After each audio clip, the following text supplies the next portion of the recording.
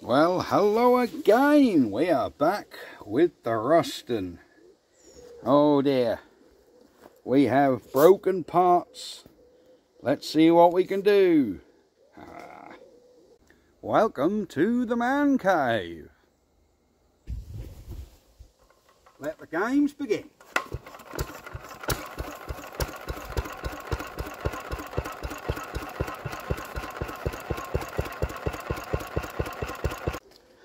So we're joined by the float which come out of there.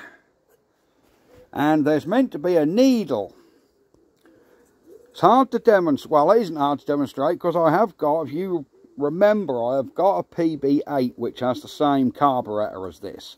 This rod, I've got to try and do this one-handed. I ain't got the phone in the tripod. But this rod basically should go all the way through. Let me get in my pocket I've took the float and the needle out of my PB8 see that rod as there's meant to be a rod go right through the middle of that.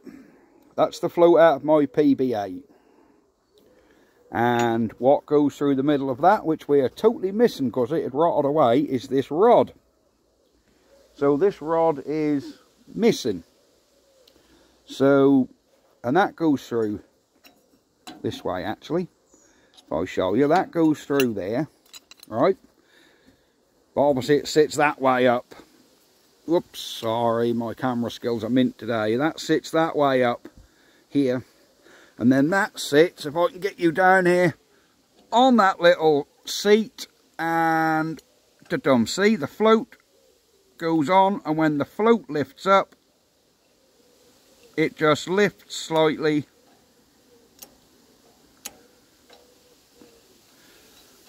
It lifts slightly to, well that isn't because the pointer's trying to come through the bottom, but you get the gist. I can't really do this one-handed very well. Yeah, and when that lifts up, them little arms lift up, allowing petrol to come through. But all I've got, oops, as we've dropped it, all I've got is this collar which is this collar here. So we need to make one of these rods. Now, there you go, let's get focus. So how are we going to do that? Well, on the wonders of eBay, I bought some brass rod. Here, I have cut a piece a little bit longer than what we need. So what we've really got to do, trying to do this one hand is not easy oops, this new bit of rod does fit nice and snug.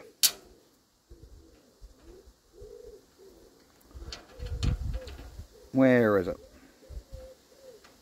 Yeah, that new bit of rod does fit nice and snug in there. Of course, you want a nice tight push fit, so that's not a problem. So what we need to do is we need to put a point on this bit of brass like that.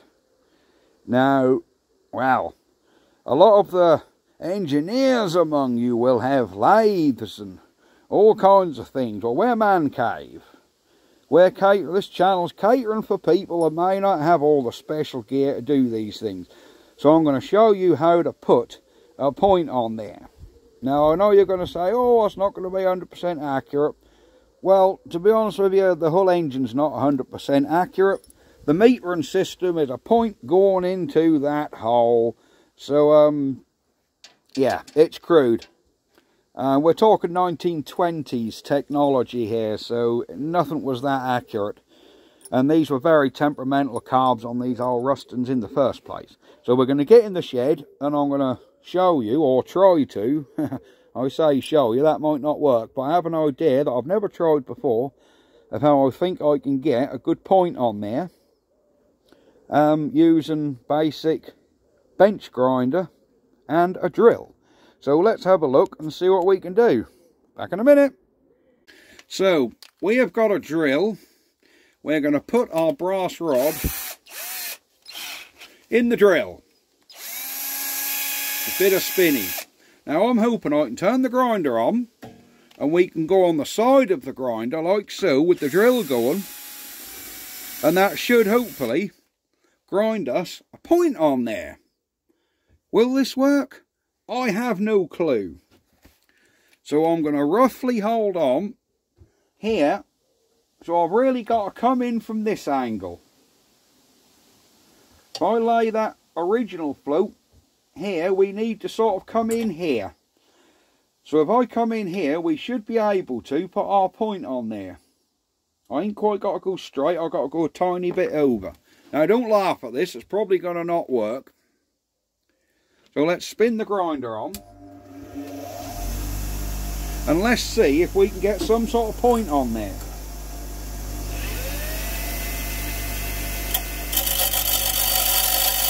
If this works, it'll be a miracle.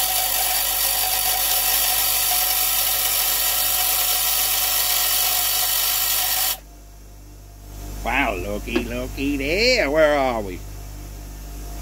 We have a point. Are all points, whoops, uh, where are, are all points anywhere near similar?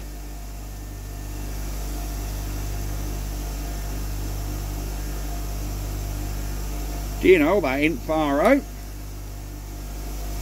Them points are not far out though.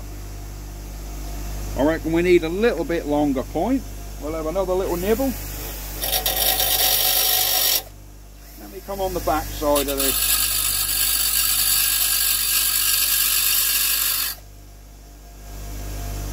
Oh, fuck me, that's a point. Now I think, now I've gone on the back side of that where the disc was a bit better. Where are our points? Come on, there you are. I think we have pretty much the same sized point on there. Now I reckon if I get a bit of emery paper and run the drill in the emery paper because this is brass that's nice and soft we should be able to shine that point up and then we will have our new needle so let's get some emery paper and see how we get on with it. Back in a minute. So what we have here is a bit of what is this? 800 wet and dry look. So let's just run that along there. Bearing in mind this is brass, that should polish up quite easily.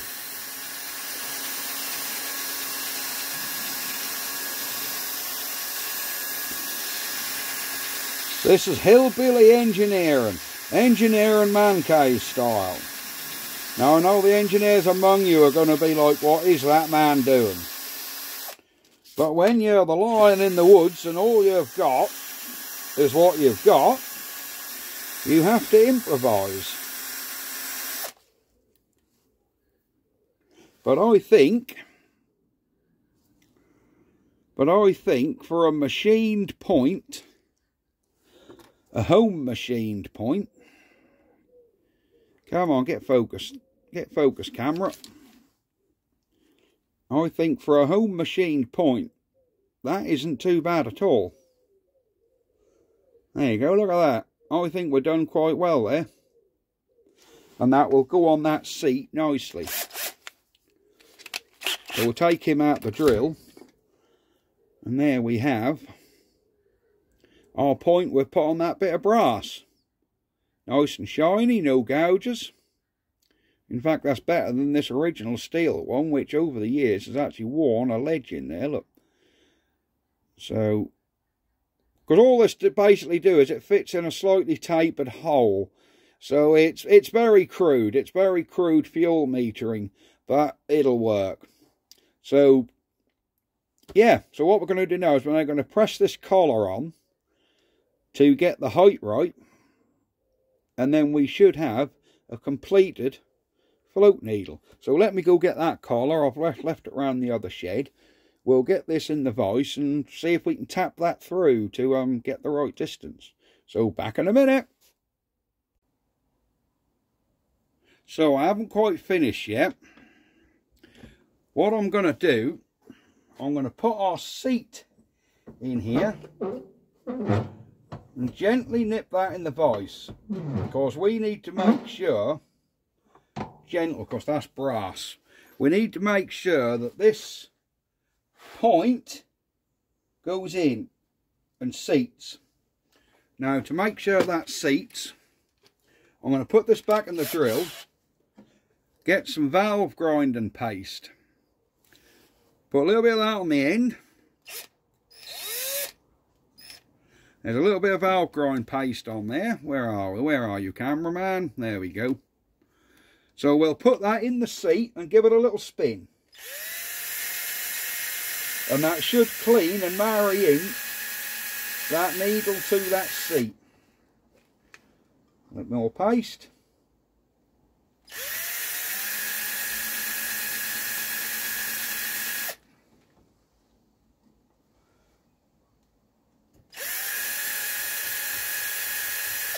Go the other way.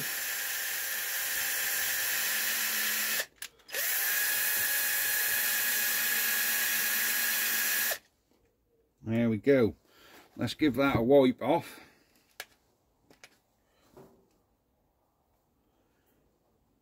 You can actually see where that's now. You can actually see where that's now started to actually seat into the seat.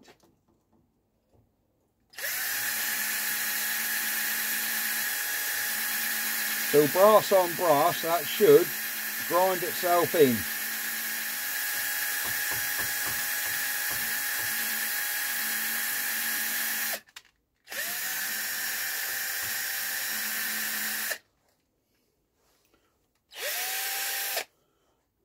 Oh yes, that's yeah, we've got a nice little ring around there now where that's actually lapped itself in. So that's lapped into this seat. So now what we need to do is replicate this by putting that collar over our new bit of brass. So let's get the bit of brass out the drill. And here is our collar. We nip the vise slightly. Have I got a big enough vise here for this job? There you go. I want to put a lot of force on that. Now we need to tap that through. Can you see what we're doing there, Mr. Cameraman? There we go. We need to tap this through. Look how easy that's going. That is a lovely, oh, that is a lovely friction fit, that. Beautiful. So we won't have to solder that. Now, how much have we got to go? We've got to go a little bit more yet. Look, see that? We've got to come here. So let's just come right to that edge. So we're not giving that collar too much stick. We don't want to have to push it back a little. We're not quite there yet. Look, we need a little bit more couple more hits.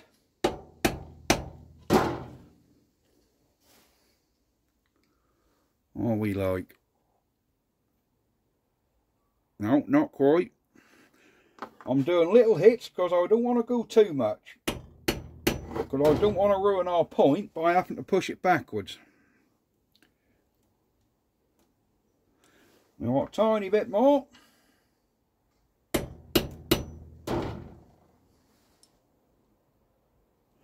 I think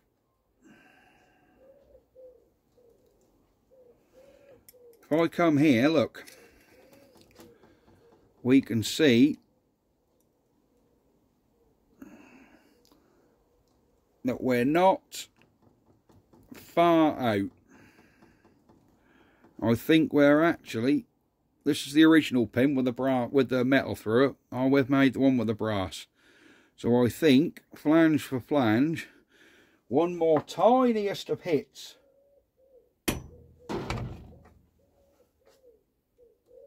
Yep, perfect. That is absolutely perfect. So we now have a good needle, which we have made out of a bit of brass stock. I think that's four, four mil. It was just a 30 centimetre length of um, brass stock, which you can get off eBay for about £3.50 delivered. And it happened to be the right size to go through this pin so we can make up a new one of these. Perfect. And that should go over. Here's the float out of our PB8. So I've got to repair the float next with some tube I've got. There you go. Our float fits over our new needle we've made. So there we go, we've made a new needle up. Perfect. Ruston Hornsby fans everywhere will be impressed with the Man Cave solution. And there we go. So there we have it all. That is our new... Oh, you can see that better now. Where are you? Let me get this camera zoomed out a bit. Let me get it zoomed out. Hang on, guys. There we go. If I get zoomed out and put the camera up level, you'll see how that works. So your, your seat screws into your carb body. As your foot lifts, there you go. You can see it now, look. See them little arms lift up when you float land on it, that lift the arms up, which lifts that little rod up. Yeah? Let petrol in. As your float sink, it pushes down on that. And but obviously this is held at the top through a guide. I don't wiggle about like that. But basically that's how it works. Trying to show you. There you go. So as your float floats, your float is down there so your fuel is now on, and as you lift the float up, that sinks and goes off. There you go. Got to remember, that's full of paste in there, so I haven't cleaned that jet out yet because I still got valve grind and paste in, so that's probably why it's a bit sticky. But yeah, that's how it works, and that's how it will work, I'm sure. Right, so that's pretty much done. The float I'm going to do tonight when I get home. So that'll be a separate video. But what we could do now is my roll pins have turned up so we can repair that magneto shaft. So did you guys want to see that magneto shaft repaired? Because if you do, we can go around the other shed or I can bring it, no, I'll bring it around here actually, and we can get our new roll pins and fix that gear back on that mag shaft. So yeah, I'll do that now. Make a bit more of an interesting video for you guys. Sorry about my waffling on. Sorry about my hillbilly fix, but it seems to have worked. So, um, yeah, let me go get them bits and I'll be back. Right, as promised, here we have our magneto shaft. I did clean all this up with a wire wheel and freed all this end off, because this is how you set your time. And, of course, um, obviously you can only get it 180 degrees either way on that gear. So we're going to have to set the time and by adjusting that to where we want it and there's the lock nut on the bottom which does work. So yeah we've got this freed up but this end is what we've got to worry about. We've got to put this gear on which is the one what came off and pin go through. See? Where them holes are. But that said, it was a taper pin. I don't have any taper pins, so I'm thinking, can we use a roll pin? First things first, make sure you get this on. Because if you put your carg on, then you ain't got that on, which is the bit what seats in the engine. You're going to be in a world of hurt. So we mustn't forget to put this bit on first. But I need to make sure I've got a roll pin out of my little selection box here that's roughly the right size. So let me have a dig about.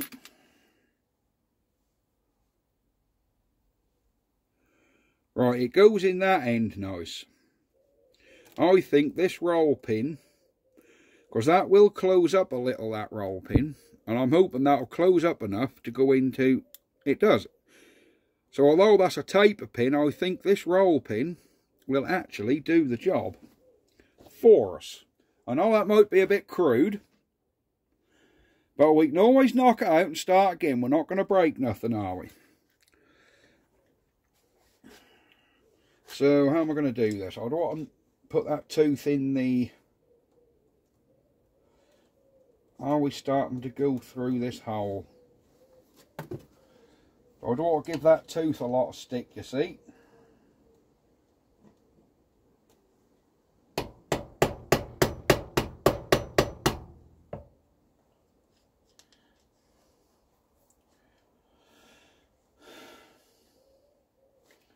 They've got a nice snug fit. Ah! Right, that is, yeah, that is now starting to go through. So I think, or I hope, if it don't work, we can just knock it out and start again.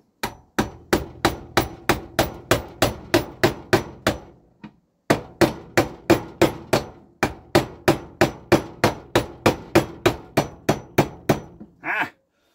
There you go. That roll pin has now pushed right through there look. So we need to get that flush. There we go. That roll pin is through that end and it's spitting tight in that end. So if we now just grind that off we will have a pin fitted. So there we have it. Without any further ado we have our roll pin which has took place of a taper pin. The purists among you are going to go, well that ain't right, you should have driven 50 miles and 50 miles back to find a taper pin. Well, you aren't going to never see this. It's buried inside the engine. There's no way on earth that is going to fall out of there because being a split roll pin, with the split in them, not a solid one, that actually has closed itself up. So that's in there with a lot of tension in that shorter end. And in that fatter end, it seemed to have held itself. Because it hasn't pushed in that end so much. So this is, you know, brilliant. We have now got a magneto shaft, which is done. So that's the end of this video, guys. Hope you enjoyed our little putting the thing back on the shaft and fixing that and making that new carb needle which are totally gone. Like I said the old carb needle had totally totally disintegrated. I didn't even have an old one as a pattern. I had to borrow this one out of my PB8 and obviously we made this one to match it. And yeah it seems to be right Yes, that's a tiny bit too long. I'd rather it too long than too short. I can always grind the end off, but that'll be once I've finished. Bits in. One last look at that. One last look at this. And there you go. Man cave done for the day. Right, thanks for watching, guys. See you next time. Bye-bye for now.